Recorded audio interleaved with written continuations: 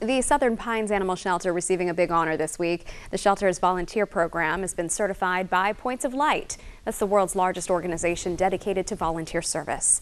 To receive this honor, the shelter had to complete hours of training and coaching as well as an assessment. Last year, volunteers donated nearly 4,000 hours of service to the Southern Pines Animal Shelter.